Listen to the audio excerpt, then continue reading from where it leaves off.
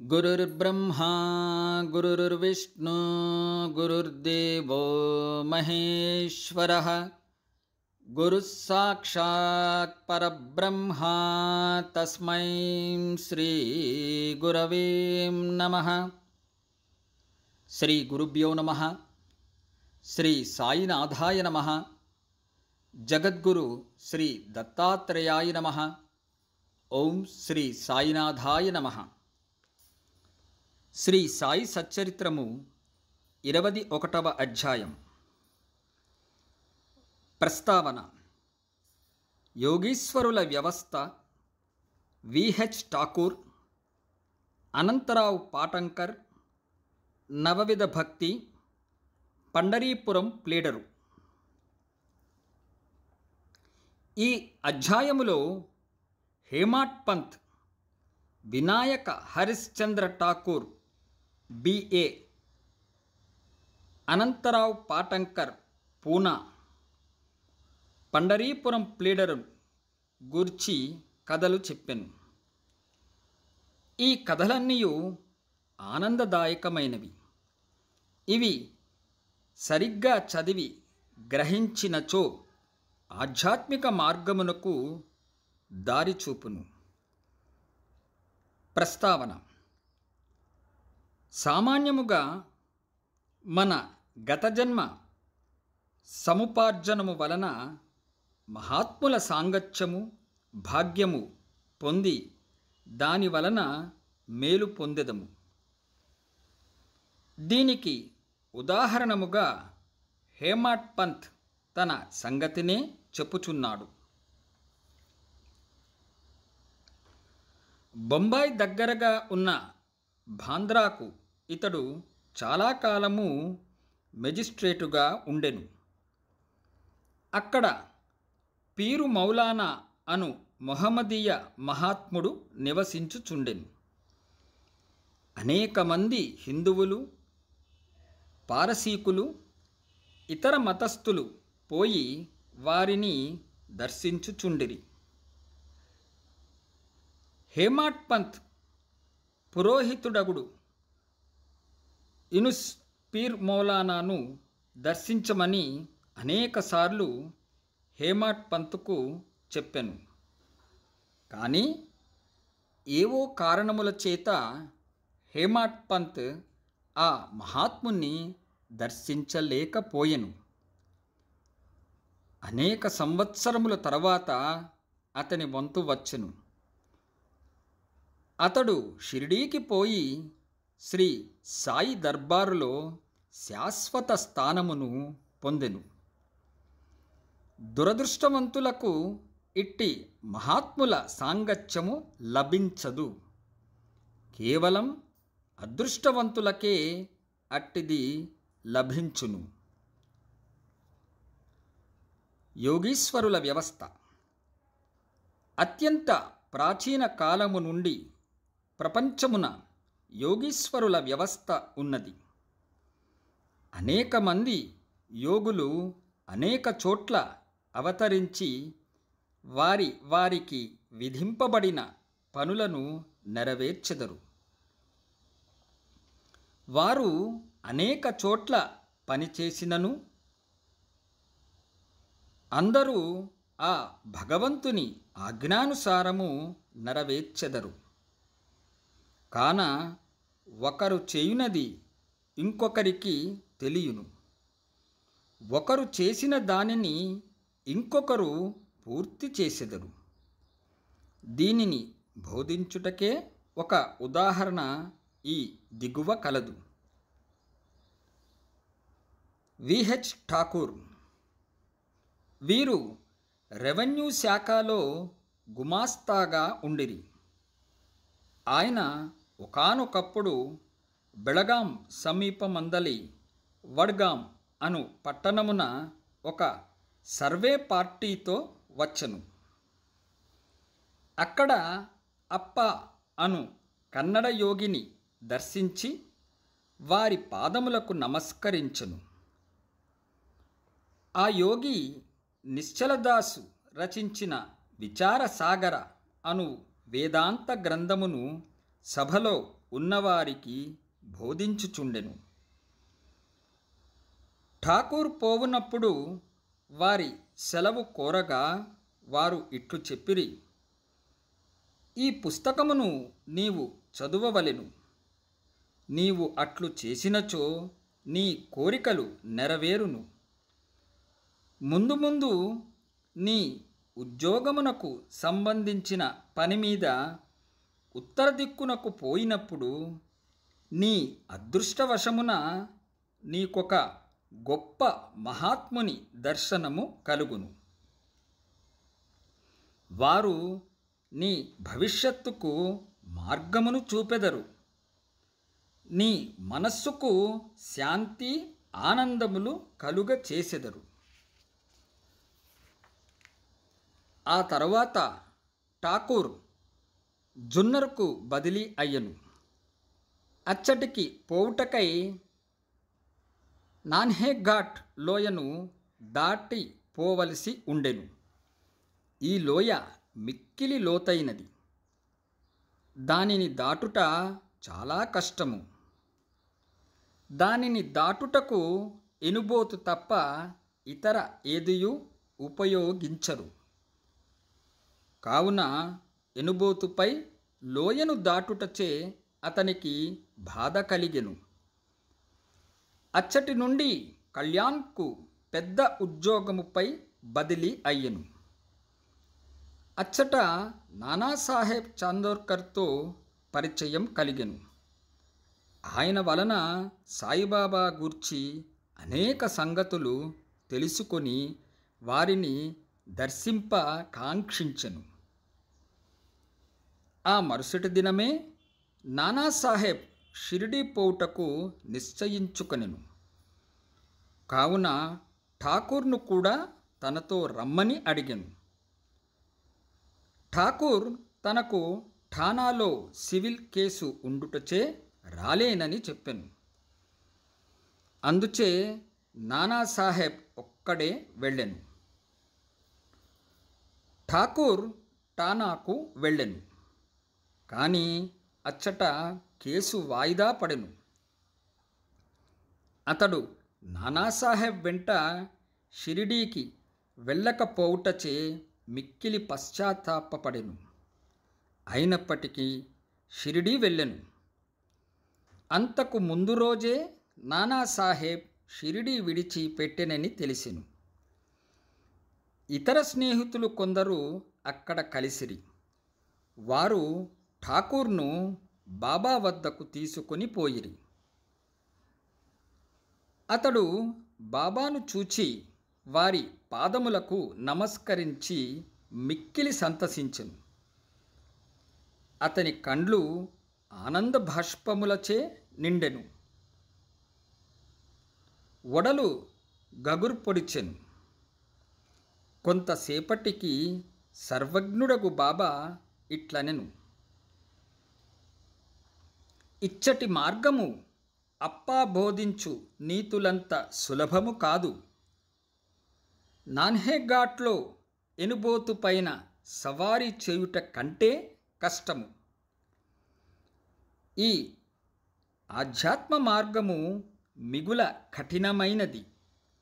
దీనికి ఎంతో కృషి అవసరము. ఠాకూర్ ఒక్కనికే అర్థమగు ఆ మాటలు వినగనే అతడు అమితానంద పరవశుడయ్యను. కన్నడయోగి చెప్పిన మాటలు యథార్థములని గ్రహించను. రెండు చేతులు జోడించి బాబా పాదములపై శిరస్సును పెట్టి తనను స్వీకరించి ఆశీర్వదించవలెనని ప్రార్థించెను. అప్పుడు బాబా ఇట్లనెను. అప్ప చెప్పినదంతయు నిజమే. కానీ అవన్నీయు అభ్యసించి ఆచరణలో పెట్టవలెను. ఊరకనే గ్రంథములు చదువుట వలన ప్రయోజనము లేదు. నీవు చదివిన విషయమును గురించి జాగ్రత్తగా విచారించి అర్థము చేసుకుని ఆచరణలో పెట్టవలెను. లేనిచో ప్రయోజనము లేదు. గురువు అనుగ్రహము లేని ఉత్త పుస్తక జ్ఞానము నిష్ప్రయోజనము. విచారసాగరములోని సిద్ధాంత భాగమాతాడు చదివియుండెను. కానీ ఆచరణను షిరిడీలో నేర్చెను. ఈ దిగువ చెప్పిన ఇంకొక కథ కూడా ఈ సత్యమును బలపరుచును. అనంతరావు పాటంకర్ అనంతరావు పాటంకర్ అను పూనా పెద్ద మనుష్యుడు ఒకడు బాబాను చూడగోరెను. షిరిడీకి వచ్చి బాబా దర్శనము చేసెను. అతని కండ్లు సంతుష్టి చెందెను. అతడు ఆనందించెను. అతడు బాబా పాదములపై పడి తగు విధముగా పూజించిన పిమ్మట బాబాతో ఇట్లనెను. నేను ఎక్కువగా చదివి తిని వేదములను వేదాంతములను చదివి తిని అష్టాదశ పురాణములు వింటిని. నా మనస్సునకు శాంతి కలుగుట లేదు కనుక నా పుస్తక జ్ఞానమంతయు నిష్ప్రయోజనము. పుస్తక జ్ఞానము లేని నిరాడంబర భక్తులు నాకంటే మేలు. మనస్సు శాంతి పొందనచో పుస్తక జ్ఞానం అంతయు వ్యర్థము. నీ దృష్టి వలనను నీ మహత్తరమైన మాటల వలను నీవు శాంతి ప్రసాదింతువని వింటిని. అందుచే నేను ఇచ్చటికి వచ్చి తిని కావున నా యందు దాక్షిణ్యము చూపుము నన్ను ఆశీర్వదించుము. అప్పుడు బాబా ఒక నీతి కథను ఈ విధముగా చెప్పెను. నవవిధ భక్తి తొమ్మిది ఉండల గుర్రపు లబ్ధి నీతి కథ. ఒకనాడు ఒక వర్తకుడు అక్కడకు వచ్చెను. అతని ముందు ఒక ఆడగుర్రము లద్ది వేసెను. అది తొమ్మిది ఉండలుగా పడెను. జిజ్ఞాసుడైన ఆ వర్తకుడు పంచకొంగు సాచి తొమ్మిది ఉండలను అందులో పెట్టుకొనెను. ఇట్లు అతడు మనస్సును కేంద్రీకరించగలిగెను. ఈ మాటల అర్థమును పాటంకర్ గ్రహించలేకుండెను.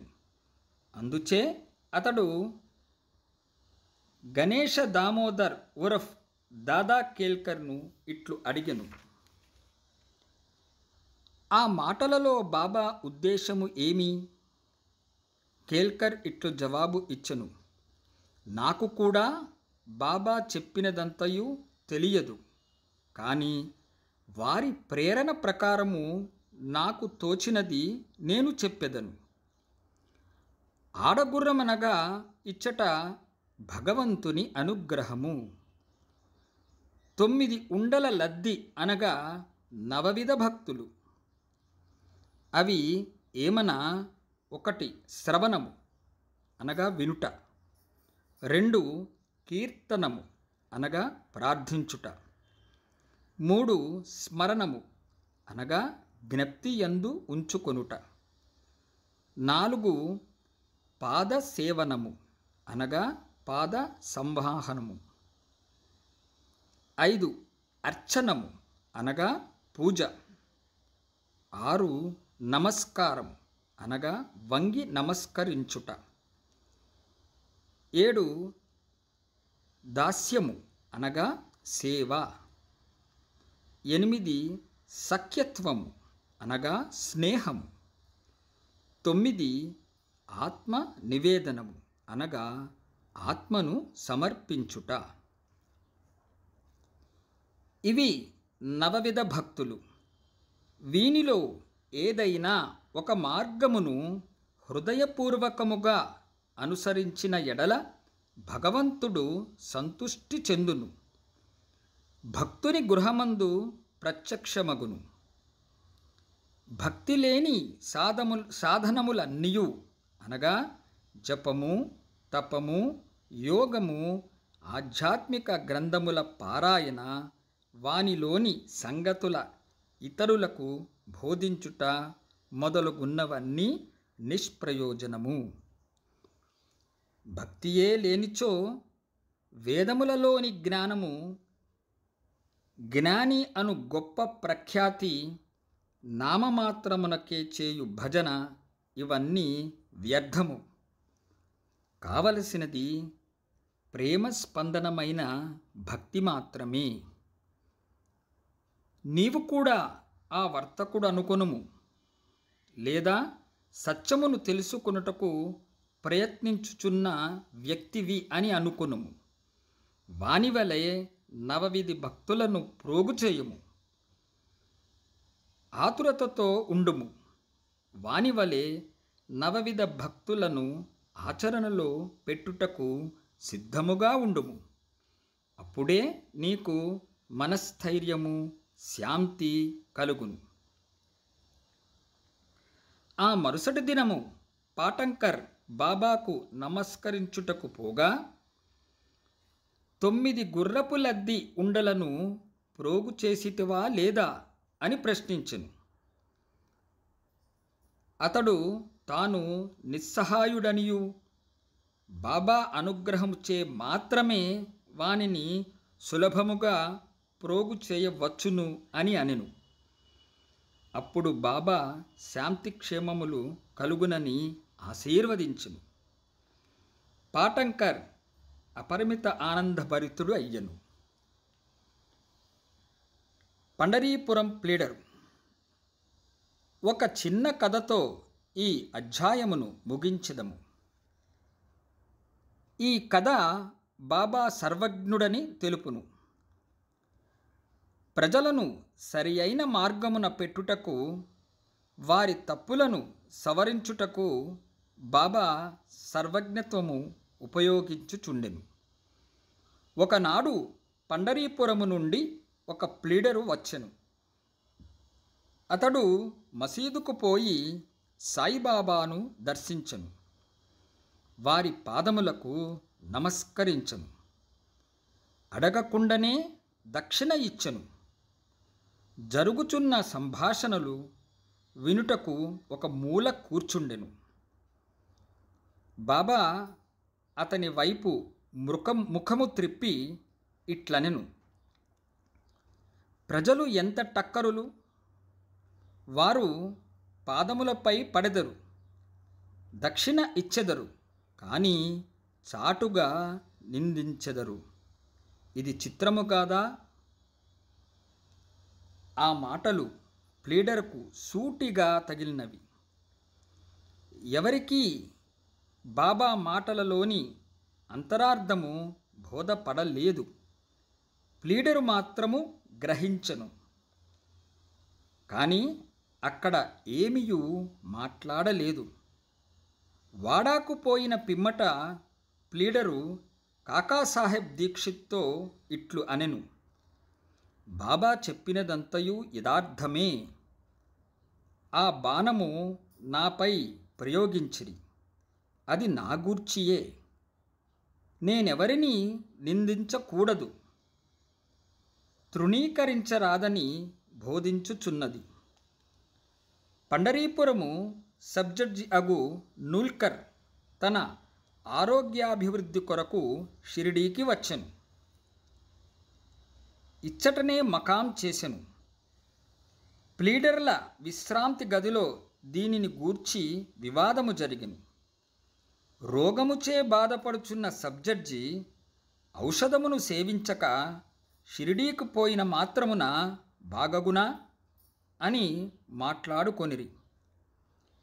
సబ్జడ్జిని వ్యాఖ్య చేసిరి. సాయిబాబాను నిందించిరి. నేను కూడా అందు కొంత భాగము వహించి తిని. నేను చేసినది సమంజసము కాదని ఇప్పుడు సాయిబాబా నిరూపించెను. ఇది నాకు దూషణ కాదు నాకిది ఆశీర్వచనమే. ఇది నాకు ఒక ఉపదేశం నేను ఇక మీదట ఎవరిని దూషించరాదు ఎవరిని నిందించరాదు. ఇతరుల విషయములో జోక్యము కలుగ చేసి కొనరాదు. పండరీపురమునకు షిరిడి మూడు వందల మైళ్ళ దూరం ఉన్నది బాబా సర్వజ్ఞుడగుటచే పండరీపురములో ప్లీడర్ల విశ్రాంతి గదిలో ఏమి జరిగినో తెలిసికొనిరి. ఈ నడుమున ఉన్న స్థలము నదులు అడవులు పర్వతములు వారి సర్వజ్ఞ సర్వజ్ఞత్వమునకు అడ్డుపడలేదు. వారు సర్వమును చూడగలిగిరి. అందరి హృదయములలో గలదానిని చదువగలిగిరి. వారికి తెలియని రహస్యము ఏదియూ లేదు. దగ్గర ఉన్నవి దూరముగా ఉన్నవి ప్రతి వస్తువు కూడా పగటి కాంతి వలె వారికి తేట తెల్లము. ఎవరైనా దూరముగా గాని దగ్గరగా గాని ఉండనిమ్ము. బాబా సర్వాంతర్యామి అగుటచే వారి దృష్టి నుంచి తప్పించుకొనుటకు వీలు లేదు. దీనిని బట్టి ప్లీడర్ ఒక నీతిని నేర్చుకొనెను.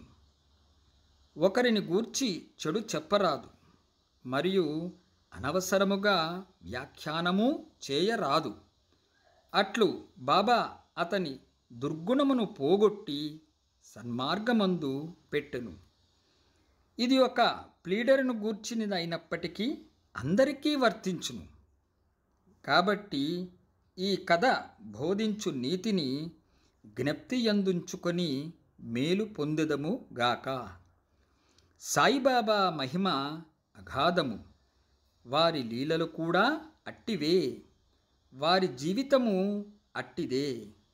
వారు పరబ్రహ్మము యొక్క అవతారమే. ఇరవది ఒకటవ అధ్యాయం సంపూర్ణం. సద్గురు శ్రీ సాయినాథార్పణమస్తు. శుభం భవతు.